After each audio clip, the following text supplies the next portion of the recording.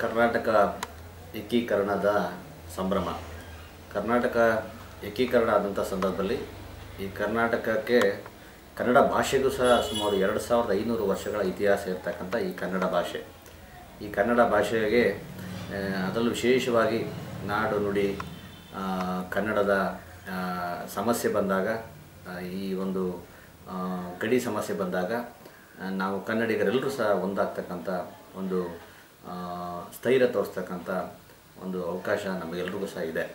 ಅದ್ರ ಜೊತೆಗೆ ಕನ್ನಡ ಭಾಷೆ ಒಂದು ದೇಶದಲ್ಲೇ ಒಂದು ಕರ್ನಾಟಕ ಇದು ಪುಣ್ಯಭೂಮಿ. ಯಾಕಂದರೆ ಇಲ್ಲಿ ಎಲ್ಲ ಭಾಷಾಂತರ ಜನ ವಾಸ ಮಾಡ್ತಾ ಇರ್ತಕ್ಕಂಥ ಒಂದು ಪ್ರದೇಶ.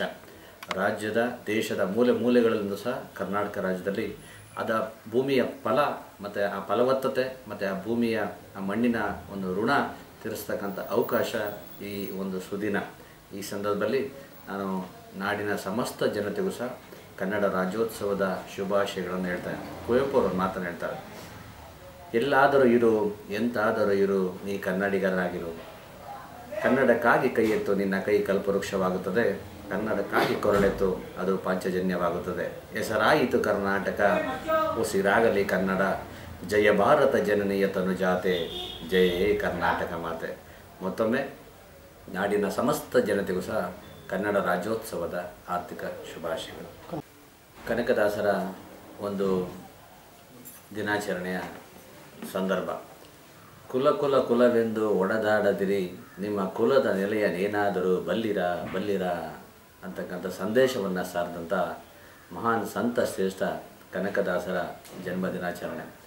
ಇವತ್ತು ಹದಿನೈದು, ಹದಿನಾರನೇ ಸ, ಶತಮಾನದಲ್ಲಿ ಕನಕದಾಸರು ಅವರ ಸಂದರ್ಭದಲ್ಲಿ ಮತ್ತು ಜೊತೆಗೆ ಅವರು ದೇಶಾಂತರ ಮತ್ತು ಈ ಒಂದು ಸಂತರಾಗಿ, ಒಂದು ಕವಿಯಾಗಿ, ದಾಸ ಶ್ರೇಷ್ಠನಾಗಿ ಪ್ರವಾಸ ನೋಡ್ತಂಥ ಸಂದರ್ಭದಲ್ಲಿ ಉಡುಪಿಯ ಒಂದು ಶ್ರೀಕೃಷ್ಣನ ಸನ್ನಿಧಾನದಲ್ಲಿ ಅವನು ಆ ಕೃಷ್ಣನ ಒಂದು ದರ್ಶನ ಮಾಡಬೇಕು ಅಂತಕ್ಕಂಥ ಸಂದರ್ಭದಲ್ಲಿ ಅಲ್ಲಿನ ಮೇಲ್ವರ್ಗದವರು ಕೀಳು ಜಾತಿಯ ಒಬ್ಬ ಕನಕದಾಸನನ್ನು ಒಳಗೆ ಪ್ರವೇಶ ಮಾಡೋದಕ್ಕೆ ಅವಕಾಶ ಕೊಡಲಿಲ್ಲ.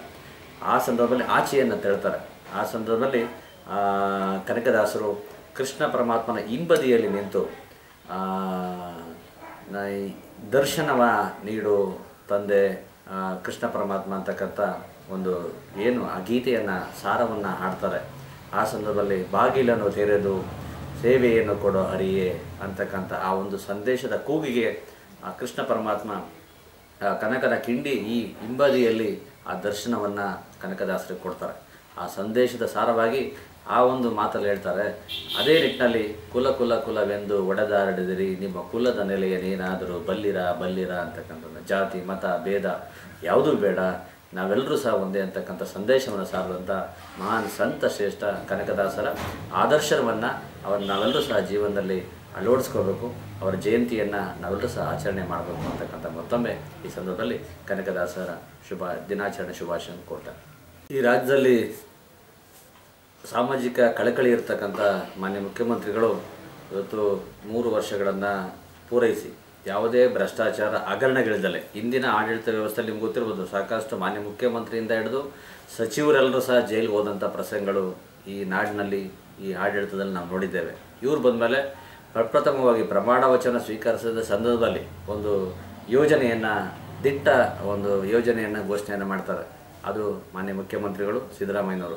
ಅನ್ನಭಾಗ್ಯ ಯೋಜನೆಯನ್ನು ಬಡವರಿಗೆ ಅವರು ಆ ಒಂದು ಬಡತನದಿಂದ ಏನು ಮೇಲಕ್ಕೆ ಬಂದರು. ಅವ್ರ ಕಣ್ಣಾರೆ ನೋಡಿರ್ತಕ್ಕಂಥ ಒಂದು, ಆ ಒಂದು ಕಷ್ಟಗಳನ್ನು ನೀವು ಸಾರ್ವಜನಿಕ ಜೀವನದಲ್ಲಿ ಸಾರ್ವಜನಿಕರಿಗೆ ತಲುಪಬೇಕು ಅಂತಕ್ಕಂಥ ಒಂದು ದೊಡ್ಡ ಯೋಜನೆಯನ್ನು, ಅನ್ನಭಾಗ್ಯ ಯೋಜನೆಯನ್ನು, ಉಚಿತವಾಗಿ ಅಕ್ಕಿ ಕೊಡ್ತಕ್ಕಂಥ ಯೋಜನೆಯನ್ನು ಘೋಷಣೆಯನ್ನು ಮಾಡ್ತಾರೆ. ತದನಂತರ ಅನೇಕ ಕ್ಷೀರ ಭಾಗ್ಯ ಯೋಜನೆ ಇರ್ಬೋದು ಮತ್ತು ಸರ್ಕಾರದಿಂದ ಸಿಗ್ತಕ್ಕಂಥ ಸಾಲ ಮನ್ನಾ ಯೋಜನೆ ಇರ್ಬೋದು, ಮತ್ತು ಬಡವರಿಗೆ ಅನೇಕ ಯೋಜನೆಗಳನ್ನು ಇವತ್ತು ಘೋಷಣೆಯನ್ನು ಮಾಡಿರ್ತಕ್ಕಂಥ ಒಂದು ಯೋಜನೆ ಕೊಟ್ಟಿರ್ತಕ್ಕಂಥ ಸರ್ಕಾರ, ಇದು ಮಾನ್ಯ ಮುಖ್ಯಮಂತ್ರಿಗಳು ಸಿದ್ದರಾಮಯ್ಯವರು ಈ ಮೂರು ವರ್ಷಗಳಲ್ಲೂ ಸಹ ಅನೇಕ ಯೋಜನೆಗಳು, ನೀರಾವರಿ ಯೋಜನೆ ಇರ್ಬೋದು, ಕೃಷಿ ಇರ್ಬೋದು, ವಿಶೇಷವಾಗಿ ಬೆಂಗಳೂರು ನಗರಕ್ಕೆ ಈ ವರ್ಷ ಅದರಲ್ಲೂ ನಮ್ಮ ಪಾಲಿಗೆ, ನನಗೂ ಸಹ ಹಣಕಾಸಿನ ಒಂದು ಮಂತ್ರಿಯಾಗಿ ಬೆಂಗಳೂರು ಮಹಾನಗರ ಪಾಲಿಕೆಯಲ್ಲಿ ಆರ್ಥಿಕ ಸ್ಥಾಯಿ ಸಮಿತಿಯ ಅಧ್ಯಕ್ಷನಾಗಿ ಒಂದು ಒಳ್ಳೆಯ ಬಜೆಟ್ ಮಾಡ್ತಕ್ಕಂಥ ಅವಕಾಶವನ್ನು ಮಾನ್ಯ ಮುಖ್ಯಮಂತ್ರಿಗಳು ಒದಗಿಸ್ಕೊಟ್ರು.